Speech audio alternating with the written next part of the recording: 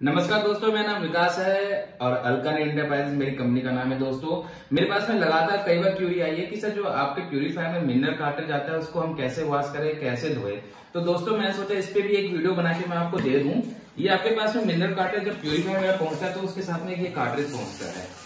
इसकी पैकिंग कुछ इस तरीके होती है दोस्तों। इसमें आप देखेंगे, ये आप अपना हटाएँगे नीचे और ये। दोस्तों, इसको अपने को साफ़ करना होता है।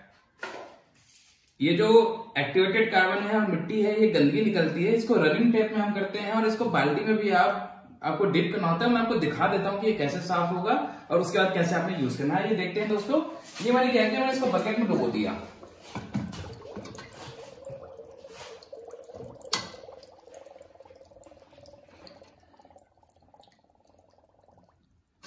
और इसको हम अपना इस हिसाब से साफ़ करेंगे ताकि गंदगी निकलती रहे। अब देख रहे होंगे, देखिए बाल्टी में ब्लैक एक्टिवेट कार्बन जा रहा है।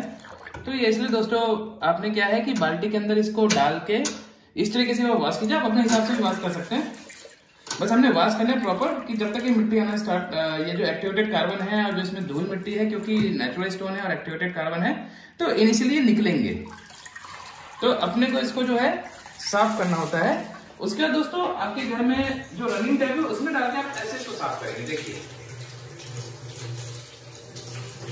आप पास से देख सकते हैं कि कैसे आप सिंक में देखेंगे वो, क्या बोलते हैं, मिट्टी आना बंद हो चुका है लगभग लगभग, और एक्टिवेटेड कार्बन भी। ये देखिए। अब गंदगी नहीं आ रही है। उसके बाद दोस्तों, आप इसको जब साफ़ कर लेंगे, ये इस तरीके से आपने साफ़ करना है। जब तक आप सेटिस्फाई नहीं होते आपको लगता है कि मिट्टी आ रहा है तो आप इसे साफ़ करते रहेंगे।